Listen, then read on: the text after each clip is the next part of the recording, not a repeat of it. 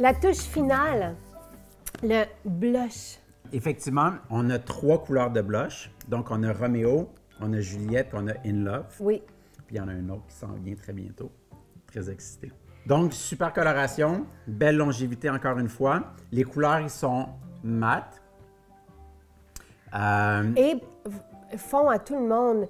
Juliette, c'est le petit rosé. Roméo, c'est vraiment pour le teint frais de quelqu'un qui vient de jouer dehors. là. Ça, ça fait cet effet-là. Il faut pas en avoir peur, même si elle paraît très mais pigmentée. par contre, faut quand même, il est quand même très pigmenté. Oui. Donc, il faut l'utiliser avec une brosse à poils longs. Euh, puis, on y va vraiment délicatement dans le produit. Euh, On- parce qu'il peut quand même toujours. être très fort, là, quand Oui, même. Ils sont quand même très pigmentés. Très, Et- euh, le, le préféré des blogueuses. Ah oui? Oui, il adore ce Et ensuite, on a euh, In Love, In Love, qui est un pêche. un pêche. Euh, donc, moi, j'aime bien utiliser, bon, les trois, j'utilise plus souvent In Love, puis euh, Juliette sur toi, en fait. Mais ce que j'aime bien faire aussi, c'est, depuis qu'on a le noir, Oui. de venir les mélanger ensemble. Ça fait vraiment. Moi, j'aime beaucoup, encore une fois, Va, vous savez, j'aime L'aspect lumineux. L'aspect lumineux. Et aujourd'hui, justement, je vais, je vais mélanger le noir. Donc, on commence avec un petit peu de le noir et je viens mettre Juliette, tout simplement. Et tu vas me faire un beau sourire. Puis le, le blush, là, un petit peu moins. Euh, le blush, on le met plus haut. Avant, on focusait vraiment sur la, la, la pomme de la joue. Maintenant, le blush va légèrement plus haut. Et voilà. Donc, ça fait un bel effet. Puis, on garde quand même notre luminosité. Vous voyez que je fais vraiment le focus légèrement plus haut.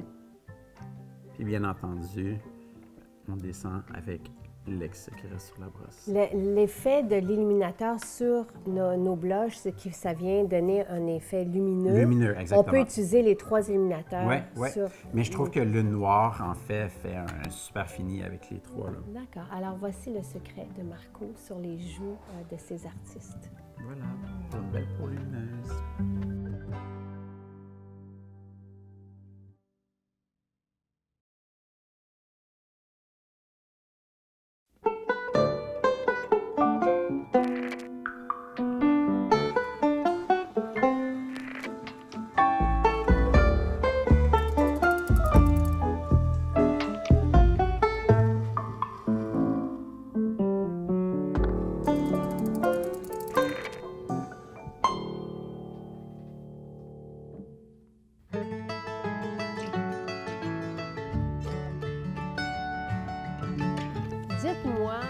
Je le sais, c'est smoothie, salade, salade, mais est-ce que vous, avez des écarts? Est-ce que c'est vraiment ça que vous prenez? Ben, moi, personnellement, c'est comme ça que je mange, mais ça m'empêche pas de. Ça m'empêche pas d'aller à l'extérieur avec mes chums. On va aller voir une game de football, puis je vais prendre une bière, puis je vais manger une frite avec une salade. Ça m'empêche pas de faire ça pendant tout, mais je suis très. pas mal ça coche. Euh, Je respecte pas mal ça parce que quand je mange pas bien, je le sais tout de suite, j'ai pas la même euh, clarté d'esprit, euh, j'ai pas la même présence. euh, puis moi, je veux toujours être au maximum, très bien, très sharp dans ma tête. Fait que euh, je garde mon corps clean pour qu'il marche bien, puis je suis bien comme ça. Toi, Paul, est-ce que tu manges vraiment comme ça? Bien, la plupart du temps, oui. J'ai connu Christian il y a plus d'une trentaine d'années. Puis, mais de descendance amérindienne, on a toujours vécu. La, la terre, c'était notre mère. Les, les légumineuses, en prenez-vous? Ben, moi, j'en mange pas, personnellement. Parce que la, la- moi, je vais parler pour moi, Paul, il parlera a- après. là. Moi, la légumineuse, là, moi, quand j'étudiais, là, ils appellent ça des pulses. Fait qu'eux autres, ils disent que la légumineuse, c'est une graine, autrement dit, que tu plantes pour avoir un plant. Puis le plant, c'est un légume. Fait qu'eux autres, ils les font germer. Fait que moi, toutes les légumineuses que je mange sont germées. Je les mange jamais cuites. D'ailleurs, si tu vois un urologue, tu as des problèmes de gouttes, qu'est-ce qui va t'enlever en premier? La viande. Ben, puis les légumineuses, tout le temps. Ben oui, tout le temps, tout le temps. Ah, Ma belle-mère, avant-. Puis c'est ben oui, c'est ça. C'est pour ça. Moi, je dis aux gens qui sont pro-médecins, demandez un- soit un gastro-entérologue, puis si vous avez des, des- des adhérences ou des, des- des polypes, et un urologue si vous avez des problèmes. Vous allez voir, même si c'est pas un naturopathe, les, la- ce qu'ils vont donner comme guide, c'est d'enlever l'acidité dans ton alimentation. Donc, c'est pas. Même la science est d'accord avec la naturopathie. Donc, dès que les légumineuses sont germées, ce n'est plus Ça acide. devient alcalin, ça pousse. C'est vivant, c'est un légume. Mais il y a des étapes. C'est ça que j- c'est ça que j'ai envie de dire aux gens. C'est parce que, tu sais, ce que vous dites, c'est de manger le plus, le plus de fruits le matin, puis le plus de légumes, après ça, le reste de la journée. Tu sais, mais après ça, tu sais, si on si on n'a jamais eu l'habitude de manger des légumes, on met, qu'on mette une, une sal- une salade à côté de son morceau de viande, c'est déjà mieux ça que... Absolument. Mais quelle que soit l'alternative, c'est a aussi. Il y a tout le principe que la personne qui va changer son alimentation nord-américaine d'aliments transformés puis d'aliments chimifiés à un paléolithique ou cétone, bien, il y a déjà une amélioration de d'alimentation. Les, gens deviennent plus conscients que l'aliment est important, que la qualité de l'aliment doit être bonne. Fait qu'il y a déjà une progression dans la compréhension de l'alimentation. Euh, Je connais des athlètes qui étaient sur les- les frites et les hot dogs, puis ils étaient très bons. Mais encore là, qu'est-ce qui va arriver plus tard? C'est ça qui arrive.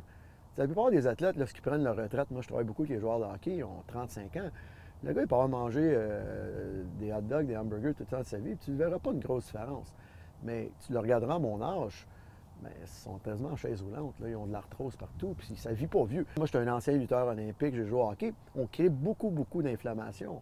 Les entraînements qu'on fait. Donc, ça prend une alimentation alcaline pour mettre, enlever le feu. Tu ne rajoutes pas du feu sur du feu, mais tu vas, tu c'est de l'autocombustion. là. Tu vas brûler la chandelle par les deux bouts. Donc, chez vous, vous avez une serre 10 par 20, Ouais, puis vous arrivez à tout faire vos semis Ouais, dedans. ouais, mais euh, je l'utilise intelligemment. là. Je pars euh, mes affaires en dedans, dans la maison. OK? Là, je vais ouvrir ma serre demain. Je vais tout mettre mes espèces de climat frais. Donc, les oignons, les laitues, euh, les artichauts. Je fais beaucoup d'artichauts, le fenouil. Donc, je ne la chauffe pas beaucoup parce que j'essaie de minimiser ma dépense énergétique.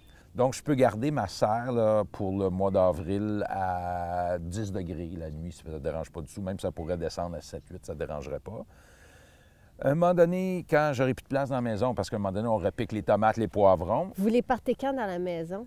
euh, ces laitues-là, je les ai partis le 15 mars. OK, parfait. Je les ai repiqués il y a deux jours. Là, ils vont rester dans serre quatre semaines et ça s'en va au jardin le 1er mai. Ça, c'est transplanté au jardin le 1er mai. C'est mes laitues oreilles du diable qui vont servir à produire mes semences de laitue oreilles du diable. Donc, je les laisse monter en fleurs, ils font leurs graines. Je les récolte à peu près au mois de septembre, les graines. Ça fait que c'est long, le processus, là. Peu importe les fluctuations là, d'une année à l'autre, là. Tu sais, comme là, il fait froid plus longtemps. Oui. Il y a de Tu la suis neige. le même calendrier quand Oui, même. la laitue, c'est assez adaptable. tu sais, je veux dire, une, une plante de laitue comme ça, là, bien acclimatée, là, si je prends mon temps pour l'habituer Ouais. au froid, ça tolère jusqu'à moins 6. C'est Ah, étonnant oui. de la laitue. Quand elle est plus à maturité dans le jardin, là, mettons à l'automne, ça va tolérer du moins 10. Mais avec des, des protections. Là, ouais, je mets des toiles dessus. Là. Mais je mange la laitue, moi, jusqu'au mois de décembre. Là, nous, on est, on est début avril. L'émission va être diffusée euh, mi-avril. Les Ouais. gens qui veulent, qui veulent est-ce qu'il va être trop tard pour partir des, comme... Des laitues, moi, j'en pars à tous les mois. Je pars des laitues le 15 de chaque mois. Et euh, je vais aller jusqu'au 15, euh, 15 juillet. Ce que je sème le 15 juillet, je le transplante au jardin le 1er septembre. Puis ça, c'est mes laitues d'automne. Donc, le 15 de chaque mois, j'en pars. Et puis... une petite, un bucket de main. Ouais, ben je mets 6-7 variétés différentes. Parfait. OK. Alors, allons-y avec je la vais vous faire leçon une démonstration de semis, mais je veux juste vous raconter l'histoire de cette euh, laitue-là. Elle s'appelle la côte de Bone. C'est moi qui l'ai baptisée comme ça parce que le monsieur qui me l'a donné s'appelle Monsieur Bone. Et puis, il dit ça, il dit, laitue, j'ai trouvé ça en Europe. Il dit, c'est extraordinaire. Il dit, t'essayeras ça. Je l'ai essayé, je l'ai adoré. Puis là, je me souvenais que le monsieur s'appelait Bone. Ah il ouais. dit, comment, je l'appellerai pas la Bone? Je trouvais pas que c'était... Mais côte de Bone, je trouve que ça faisait un beau terme. Alors voilà, on fait un petit sillon tout simplement comme ça. Moi, je travaille beaucoup avec des, des petits bâtons à popsicle comme ça. Puis là, on fait un petit semis dans le sillon comme ça. On fait tomber, euh, on peut mettre jusqu'à une trentaine de graines par sillon. Ça se contrôle quand même assez bien. C'est une petite semence noire, hein, la, la côte de Beaune. Il y a des laitues qui ont des semences blanches, il y en a des, des noires. Fait que je les mets à peu près 30. Puis là, je fais mon petit plombage comme ça, ça se fait à la main. Puis évidemment, il faut les identifier. Donc, côte de Beaune, c'est identifié, c'est terminé. Là, je peux décider d'en faire une autre. Par exemple, la laitue romaine Jéricho, qui est une romaine classique un peu verte là, pour faire des bonnes salades César. Alors, je refais mon petit Vegan sillon. et bio. Oui, tout à fait.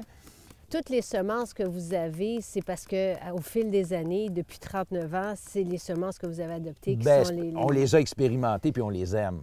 Ça fait que c'est pour ça qu'on les qu'on qu'on produit des semences, puis c'est pour ça qu'on vend celles-là aussi. On les produit pas d'autres, hein? je veux pas euh, vous compter de menterie. Euh, Vous en avez combien? Euh, sur le catalogue de Catherine, je pense qu'il y en a 210 items différents, là, allant des légumes aux plantes ornementales, aromatiques et médicinales. Il y a Il y a de quoi 210 s'amuser. items. Puis ça monte tout le temps, là, on augmente tout le temps. Fait que ça, c'est du kale, le kale lacinato que j'aime beaucoup. Alors, on aime le kale parce que ça permet de faire des jus verts extraordinaires. hein. Qu'est-ce qu'on fait maintenant avec euh, nos, Ben nos- là, nos après ça, on va tout simplement donner un petit coup d'eau. J'ai le petit arrosoir à bec inversé. On ne l'a pas rempli d'eau, mais c'est juste pour expliquer aux Oui. gens que c'est important quand on fait du semi-intérieur de travailler avec un arrosoir à jet fin. Fait que ça, ça s'appelle un arrosoir à bec inversé. Le jet est très fin. Donc, quand on arrose des petites plantes comme ça, si on arrive avec un gros jet, ça- ils vont toutes coucher. Je viens de Alors ça, ça va vraiment bien. Puis la laitue, ça germe à la fraîche. Donc, on peut laisser ça à 10-15 degrés. Ça va très bien germer. Le kale Peux-tu aussi. juste vaporiser aussi avec C'est un pas assez. C'est pas C'est assez? pas assez. C'est mieux de donner un coup d'eau. Je m'étais acheté un petit bidule pour semer là, euh, une graine séparément là, des graines. C'est- l'horreur. Est-ce que vous avez peux- vu peux comment, comment- comment ça. je sème? Je sème de Ben, je même. sais. Même Hey, dans là, mon jardin. Hey, c'est une petite pompe, là, ça, ça tire de l'air, là, ça non. tient ta graine de Mais carotte, là, elle tombe avant que tu arrives à c'est Regardez, là, quoi. Je suis n'importe capable de déterminer le nombre de graines qui va tomber dans, dans- dans la pomme de ma main juste par le petit tapotement que je fais à une, deux, trois, quatre, cinq, six, sept, huit. quoi. Je, Ah ouais. je les calcule à l'unité.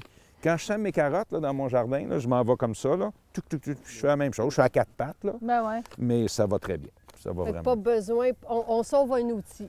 Ben oui. Ben, oui, mais Ben- aussi, c'est parce que c'est, ça- on- tu sauves du temps, là. C'est pas possible, euh, Exact. semer avec cette affaire-là, là. Ben oui, c'est ça.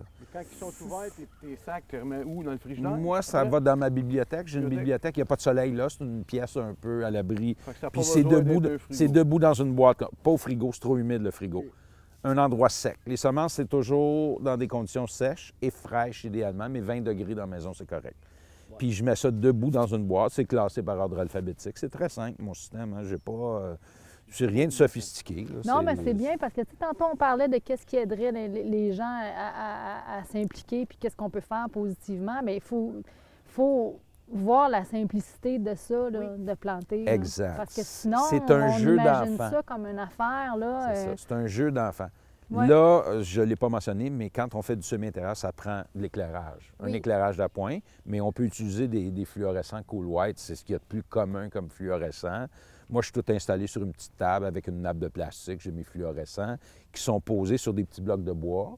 Et puis, quand les plantes poussent, bien, je rajoute un petit bloc de bois pour relever un peu mes fluorescents. mais tu le ça- commences bien bas, là. C'est ça. Mes ça. fluorescents sont collés ça. pratiquement sur les plants. Puis au fur et à mesure qu'ils poussent, je- j'y remonte avec mes petits blocs de bois. C'est tellement, tellement on, se, com- simple. on se complique Ah, tout à fait. Mais ça, Ouais. mais ça fait ça jardiner. Puis, tu On Ouais. parlait tantôt là, de, du monde qui veut des pommes, des carottes. Pareil, je te jure que quand c'est une carotte que tu as plantée, même si elle n'est pas cute, là, t'es content. Ben oui. Sorti ça, là. Et c'est là où on s'en va. Là. Pour moi, c'est ça la nutrition supérieure. Là. Ça part de la terre, ça s'en va dans l'assiette direct, là, dans, dans la même heure. Là. Le meilleur exemple de ça, c'est à 11h30, tu vas dans ton jardin, tu récoltes ta laitue, ta roquette, tes épinards. Tu rentres dans la maison, tu laves ça, tu fais ta vinaigrette, puis à midi et demi, ta salade est prête. Ça, il y a, il y a- il y a du crunch là-dedans, puis il y a de la vitalité, de la vitamine en masse. Moi, je la laverai même pas. Je vais, je vais me laisser un petit peu de temps pour Ah oui, ben oui. dessus.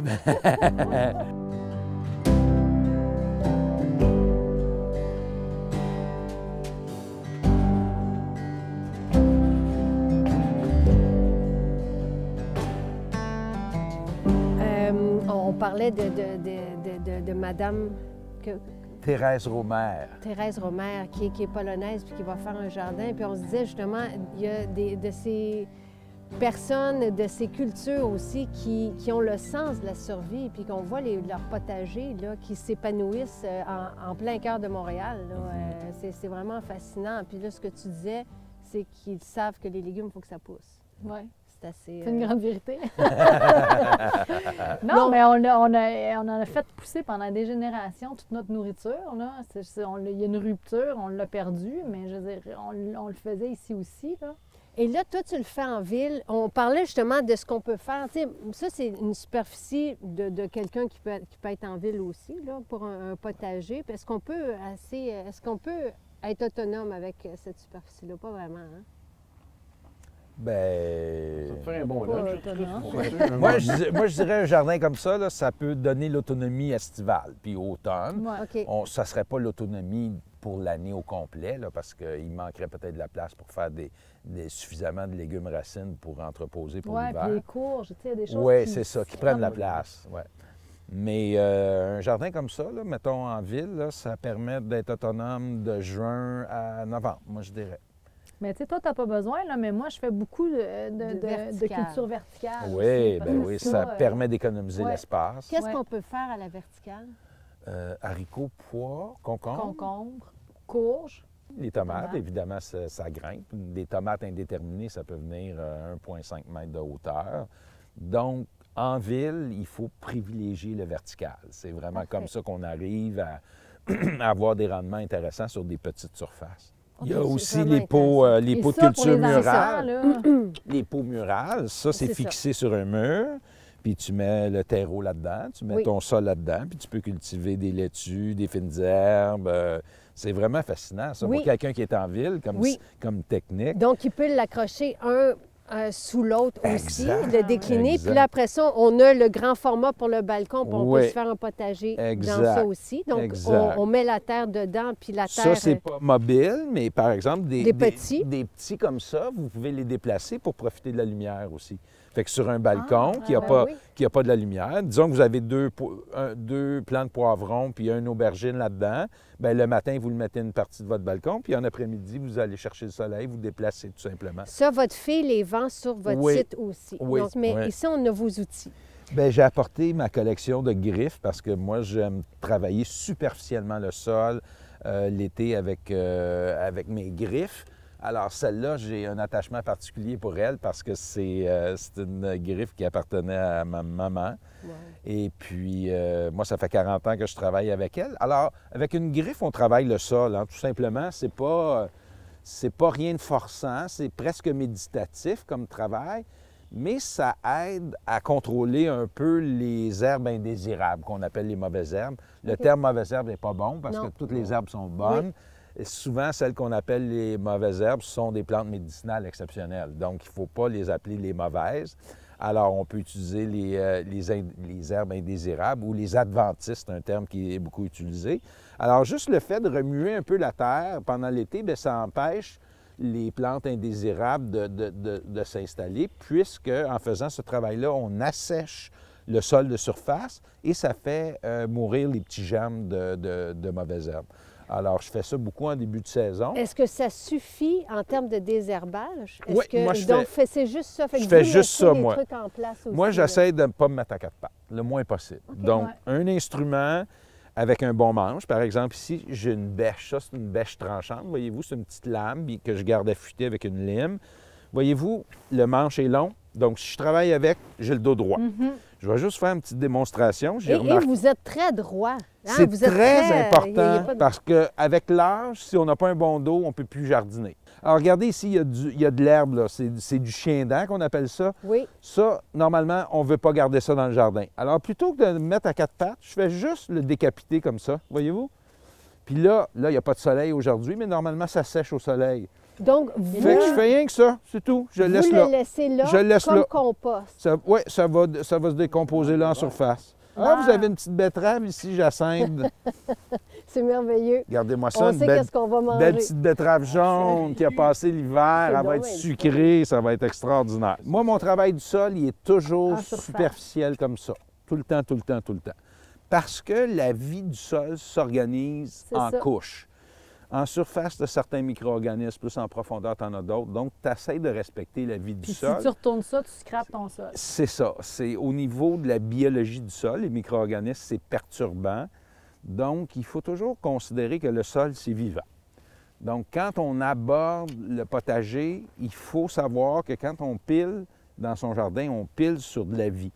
C'est pour ça que moi, j'ai mes petits sentiers, puis mes cultures sont sur des buttes. Donc, moi, où je marche, c'est correct, mais où sont mes végétaux en culture, je ne marche pas. Il y a comme toujours cette espèce Uh-huh. de respect-là de la vie du sol quand on intervient. Euh, donc, on a besoin d'une griffe puis d'un- d'une tranche. Oui, on ça? moi, j'appelle ça une bêche tranchante. Une bêche Ça, tranchante. c'est un outil extraordinaire. Moi, ça me sauve un temps fou. Si j'avais pas ça, là, je- j'en arracherais Ah ouais. chez moi. Ça me sauve un temps Il y en incroyable. existe des plus petites Oui, aussi. ouais, il y a différents modèles. C'est pas, c'est pas tant de job que ça. là. Si on a des instruments comme ça, euh, en, en une vingtaine de minutes, c'est Un jardin comme ça, là, quand c'est bien euh, entretenu, là, c'est pas de travail du tout. Je vous le dis, là, ça se fait. Je veux dire, il y a- il y, a moment un petit peu de travail, là, mais tu sais, c'est pas, c'est pas une, une tâche. Là. On C'est le pas... début, c'est le début, c'est ton Ouais, installation. Exact. Si après ça, fait, après un, ça, c'est un petit peu d'entretien. Il ne faut pas voir ça comme une montagne de travail. là. Puis pourquoi vous avez plein de griffes différentes? Nous, on en a besoin d'une. Bien, si vous en achetez juste une pour un petit jardin, moi, je vous suggérerais la Gardena, qui est une espèce de griffe passe-partout. OK. Elle travaille très bien est pas trop étroite, mais est assez large pour, lorsqu'on a des grandes surfaces, on avance. Moi, ma plus large, c'est celle-ci, voyez-vous, est, est plus large encore que, que la Gardena. Disons que j'ai fait mon semis de courge sur une planche qui fait 2 mètres de large, parce que des courges, ça prend de la place. Puis j'ai un binage à faire là où j'ai pas de végétation. Bien, si je fais ça avec une petite griffe étroite, ça va me prendre deux heures. Oui. Tandis qu'avec la plus large, je vais faire ça en 15 minutes. Donc, quand j'ai de la surface, je vais y aller avec les plus larges. Puis quand je fais un binage de précision, par exemple, entre mes oignons, j'ai pas beaucoup de place parce que je fais de la culture intensive, bien, je vais y aller avec une petite griffe comme ça, étroite. Comme ça, j'abîme pas mes racines, puis j'a- j'abîme pas les bulbes qui sont en formation. Puis L'autre, oui, ah, c'est ça. celle-là aussi, ça, c'est euh, je ne sais pas d'où elle vient, Ben, il y celle-là. en a des Elle s'est retrouvée chez nous. Japonais comme à- ça, À, là, l'entrée, j'ai comme un peu de garnotte. Puis c'est là que les gens arrivent chez nous. Alors, des fois, dans la garnotte, ils poussent des, du chien d'âme. Ouais. Fait que ça, tu peux travailler dans la garnotte avec ça de même. Tu fais juste Ah, ça wow. comme ça. Puis c'est le même principe. Tu décapites tes adventistes que tu veux ça. pas avoir. Et vous remarquez, en c'est fait. là. toujours en surface, encore une fois. Là. Je rentre pas dans la terre. là. Alors, une griffe puis une tranche du modèle qu'on veut. Une bêche tranchante Une du bêche modèle qu'on veut, tranchante, tout puis à fait. On, est, on est grillé. Oui, ouais, évidemment, ça prend une pelle, hein, ça, on n'a pas le choix. Ah! Euh, Celle-là avec est pas pire. Oui, ça, deux sens. montre donc comment tu travailles avec ça, Bon, André. comme parce toi, en- oui, c'est un peu... pousse, Oui, puis je c'est- tire. Pousse, exactement. Ça, c'est très intéressant aussi comme modèle. Merveilleux.